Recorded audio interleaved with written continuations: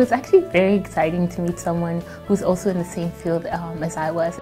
He knew some of the same things I was going through and he knew some of the decisions that I would need to be making in the future. It's a little heartwarming to know that some people look up to you for advice. They've been here, they understand what Princeton is, they get what a JP and a thesis, and they really understand. It's important for students to surround themselves with mentors who will help them discover their passion.